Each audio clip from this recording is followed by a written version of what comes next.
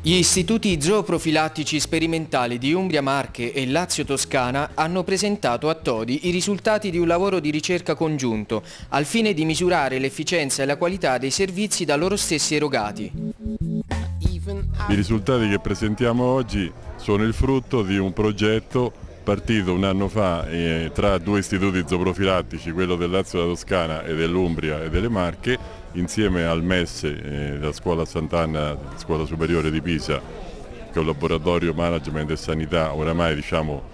accreditato per quanto riguarda la valutazione delle performance e sta facendo dei lavori ottimi nelle varie diciamo, regioni italiane quindi siccome gli istituti zooprofilattici sono caratteristici eh, particolari rispetto alle altre aziende sanitarie, era necessario partire con un progetto specifico proprio per gli istituti. E siamo partiti, è un anno abbastanza intenso e la cosa fondamentale è che abbiamo avuto una risposta all'interno dei due istituti ottima dal punto di vista del personale sia laureato e sia tecnico amministrativo. 750.000 mediamente le analisi effettuate ogni anno e 120 ricerche condotte e portate avanti dall'Istituto Zooprofilattico, un servizio che va sempre eh, in cerca di miglioramento per il cittadino e per il territorio. Ma proprio così, credo che eh, sia un dovere di qualsiasi azienda pubblica, ma soprattutto